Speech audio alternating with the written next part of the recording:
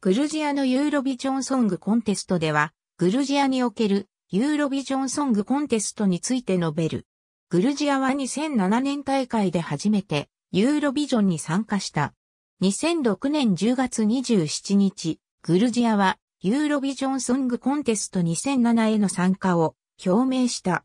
この時、欧州放送連合は依然参加国を40までとしていたが、2007年3月、参加を表明した42カ国すべてがヘルシンキでの大会に参加できると表明した。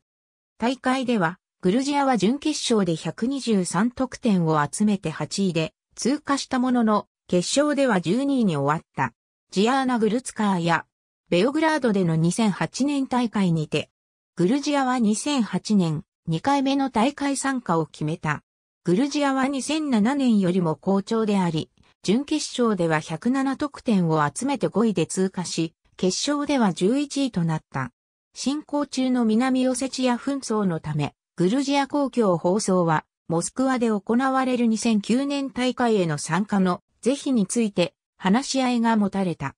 グルジア公共放送の会長は、大会への参加を取りやめる理由はないとしつつも、大会に参加するための国内選考の時間は限られているとした。2008年8月28日、グルジア公共放送は2009年大会への参加を取りやめると発表し、人権や国際法を侵害する国家での大会を拒絶すると述べ、また、同大会へのグルジアからの参加者の安全に疑問があるとした。しかし、ジュニアユーロビジョンソングコンテスト2008でグルジアが優勝したこと、同大会でロシアからグルジアに最高得点である12点が入ったことから、ユーロビジョンソングコンテスト2009への参加を決定した。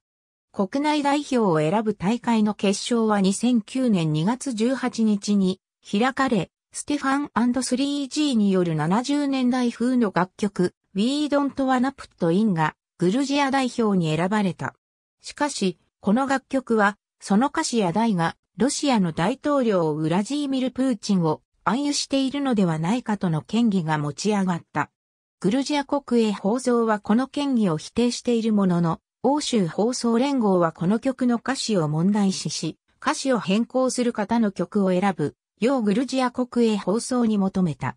グルジア国営放送は、欧州放送連合による拒絶がロシアからの政治的圧力によるものであるとし、3月11日に大会への不参加を決定した。グルジアから高得点が送られた国々、グルジアに高得点を送った国々、出展、得点の合計は決勝の時のもののみであり、準決勝のものは含まない。ありがとうございます。